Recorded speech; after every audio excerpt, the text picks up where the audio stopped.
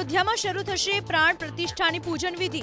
એકવીસ તારીખ સુધી આ વિધિ ચાલશે. બાવીસમી જાન્યુઆરીએ બપોરે બાર વાગ્યાને વીસ મિનિટે પ્રાણ પ્રતિષ્ઠાની શરૂઆત થશે, જે એક વાગ્યા સુધી ચાલશે. કર્ણાટકના મૂર્તિકાર અરુણ યોગીરાજે બનાવેલી પ્રતિમા રામ મંદિરમાં સ્થાપિત કરાશે. રામ મંદિર ટ્રસ્ટના મહાસચિવ ચંપતરાય અનુસાર બાવીસ તારીખ બાદ અયોધ્યા આવનારા દર્શનાર્થીઓ રામલલ્લાના દર્શન કરી શકશે. પ્રાણ પ્રતિષ્ઠા મહોત્સવને લઈને અયોધ્યાને શણગારવામાં આવી ગુજરાતી દીકરીઓએ બનાવી રંગોળી. તો અયોધ્યામાં ચાલતા મહાયજ્ઞમાં દેશભરમાંથી ઉમટ્યા ભક્તો. પ્રાણ પ્રતિષ્ઠાનું નિમંત્રણ ફગાવ્યા બાદ કોંગ્રેસના ડેમેજ કંટ્રોલના પ્રયાસ. સરયુ નદીમાં કોંગ્રેસના નેતાઓએ કર્યું સ્નાન. કોંગ્રેસના નેતાઓ રામલલ્લાના દર્શન માટે પણ પહોંચ્યા.